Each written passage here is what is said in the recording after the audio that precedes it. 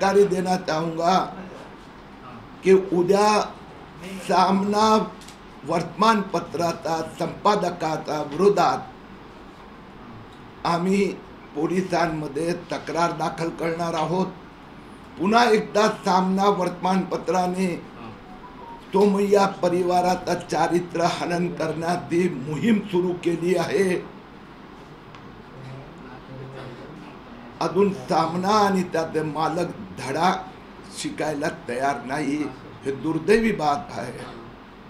आम्ही उद्या या संबंधात तक्रार दाखल करणार. माझ्या वकिलांनी आज सामना पेपरला नोटीस पाठवली आहे पाठवित आहे. आता जी माहिती आहे त्यात कुठल्या कुठल्या बँकेतून पैसे आले याची माहिती हातात आली आहे. आता अवघ्या तीन दिवसात त्या बँकेत पैसे कुठून जमा झाले? आणि त्यात परत दोन दिवस सुट्टी होती. त्याची चौकशी मला इन्कम टॅक्स ईडी आणि गृह मंत्रालयाच्या अधिकाऱ्यांनी आश्वस्त केले आहे की आम्ही त्याची चौकशी सुरू केली आहे. लवकरात लवकर. हा पैसा कुठून आला आणि कुठे गेला ते बाहेर येणार. याच्यात सॉरी हा एक एफ आय आर पण दाखल झाला आहे.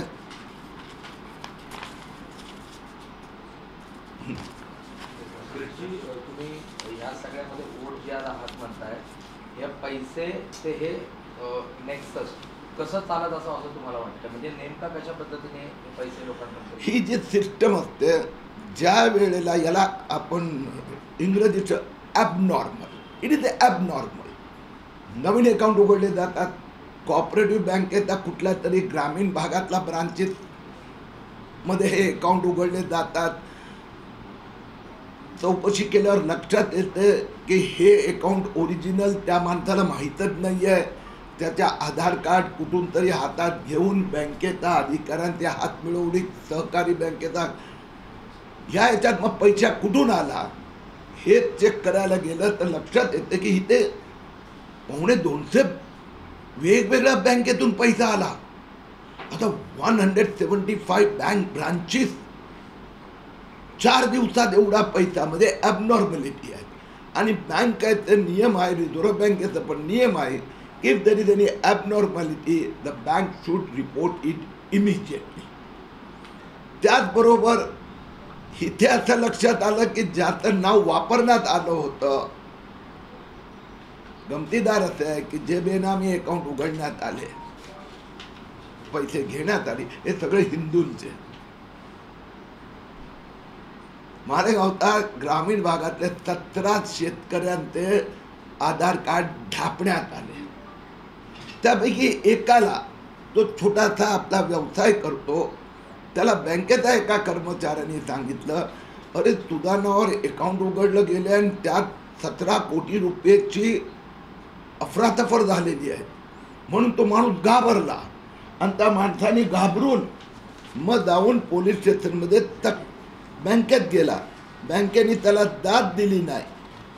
म्हणून तो आमच्यासारखा कुणाचा तरी त्याने संपर्क केला. आणि मग पोलीस स्टेशनमध्ये जाऊन जयेश लोटन मिसाळ. त्यानंतर त्याची तक्रार घेण्यात आली. एकदा तक्रार हातात आल्यानंतर हळूहळू हे सगळं बाहेर येत आहे. अभी जो जानकारी है उसमें ऐसा पता चला है कि जो उत्तर भारत के अलग अलग जगह पर बैंकों में ये पैसा कैश जमा किया गया और वहाँ से ये पैसा यहाँ पर आया। ये बहुत बड़ा रैकेट है। ये वोट जिहाद का पैसा कहाँ से आता है? मैंने तीन दिन पहले कहा था, मैं दो दिन में सौ करोड़ रुपया वोट जिहाद के लिए कहाँ से आया, कहाँ गया, कैसे उसको उपयोग में लाया गया, उसकी जानकारी दूँगा। मालेगांव में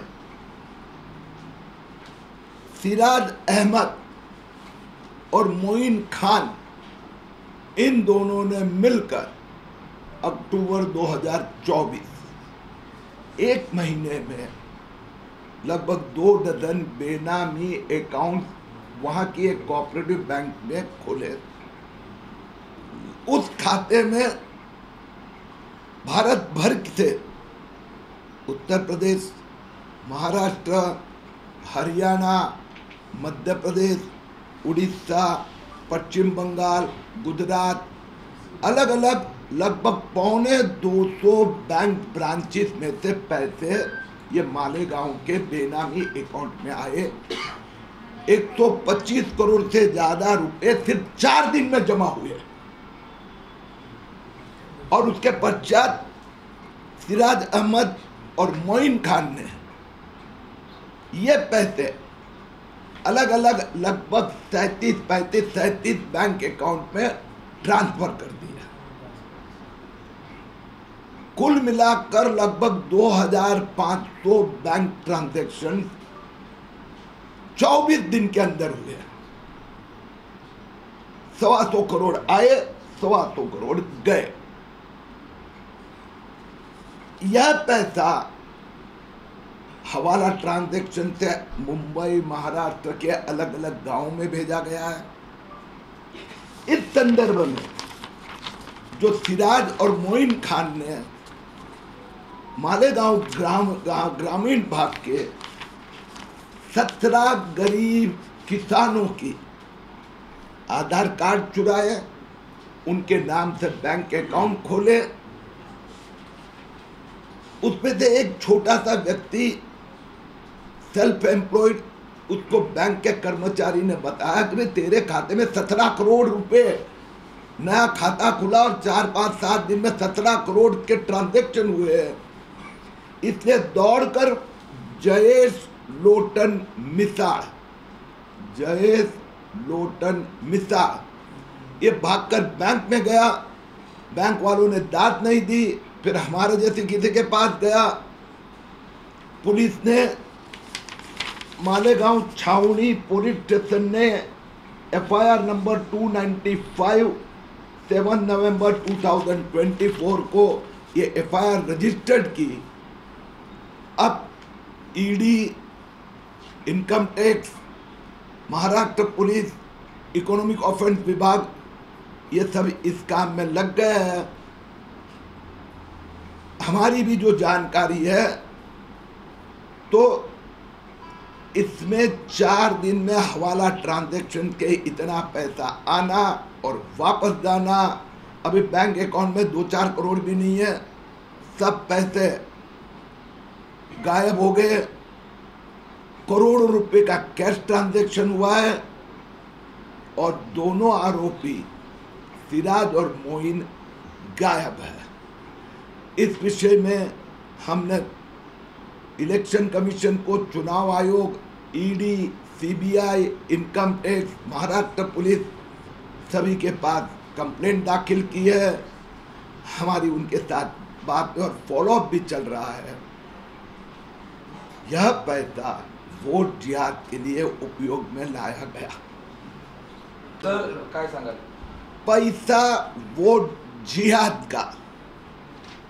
आपण पाहिलं की मोठ्या प्रमाणात वोट जिहादची सिस्टम कामाला लागली आहेत. हा पैसा येतो कुठून? चार दिवसापूर्वी मालेगावमध्ये रुपया अडीच कोट अडीचशे कोटीचे एकंदर फायनान्शियल हवाला बेनामी ट्रान्झॅक्शन बाहेर आले. मालेगावमध्ये सिराज अहमद आणि मोईन खान यांनी सुमारे अडीच डझन बँक अकाउंट तिथला एका कॉपरेटिव्ह बँकच्या ब्रांचमध्ये उघडले. ऑक्टोबर दोन हजार चोवीस फक्त एका महिन्यात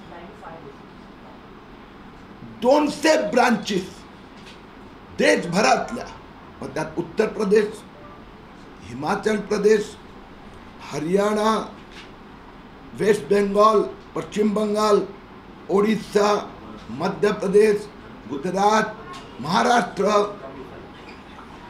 दोनशे गुण अधिक बँक ब्रांच अकाउंटमध्ये पैसाची अफरातफरी झाली. ऑक्टोबर महिन्यात सिराज आणि मोईननी फोर्जरी करून एका सहकारी बँकेचा ब्रांचमध्ये दोन डझनहून अधिक बँक अकाउंट उघडले. ह्या सगळ्या जे मी सांगितलं तसं पावणे दोनशेहून अधिक बँकेतून त्यांच्या खात्यात चाळीस हजार रुपये एक लाख चाळीस हजार चार लाख एक कोटी एकशे पंचवीस कोटीहून अधिक पैसे जमा झाले. आणि हे जमा झाले अवघ्या चार दिवसात. आणि त्यानंतर हे पैसे असाच प्रकाराने मुंबई असो मालेगाव असो नाशिक अहमदाबाद अशा वेगवेगळ्या ठिकाणी सदतीस अकाउंट्समध्ये परत पाठवण्यात म्हणजे ट्रान्सफर करण्यात आले. आणि हा पैसा तिथून लगेचच विड्रॉ करण्यात आला. अनेक ठिकाणी कॅश विड्रॉल आहे. हे दोनशे पन्नास कोटीचे द्या. आर्थिक व्यवहार. यातले सव्वाशे कोटी रुपये वोट जिहादमध्ये वापरण्यात येत आहे आले आहे. सात नोव्हेंबर दोन हजार चोवीस रोजी या घोटाळा संबंधात मालेगाव छावणी या पोलीस स्टेशनमध्ये गुन्हा दाखल करण्यात आला. एफ आय आर दोनशे पंच्याण्णव जे मुख्य आरोपी आहे सिराज अहमद मोईन खान फरारी आहे या संदर्भात मी निवडणूक आयोग यानं तक्रार केली आहे मी महाराष्ट्राचे सिनियर अधिकाऱ्यांची चर्चा केली ईडी, सीबीडीटी, इन्कम टॅक्स विभागांची चर्चा केली आहे तक्रार दिली आहे रिझर्व्ह बँक असो सी बी आय असो यांनी या संदर्भात ताबडतोब चौकशी सुरू करून कारवाई करावी अशी माझी मागणी आहे. हा जो एकशे पंचवीस कोटी रुपये पैकी एकशे वीसहून अधिक कोटी रुपये विड्रॉ झाले आहेत. एका महिन्यात दोनशेहून अधिक बँक अकाउंट एकटा सिराज किंवा मोहीम करू शकत नाही. इट इज इम्पॉसिबल याचा अर्थ याच्या मागे मोठं रॅकेट आहे. मी तीन दिवसापूर्वी आपल्याला सांगितलं होतं की वोट जिहाद मुवमेंटमध्ये शंभर कोटी रुपया बाहेरून आला आहे. मला शंका आहे हा पैसा विदेशातून आलेला आहे. ट्रान्झॅक्शन नेमकं कुठल्या इतर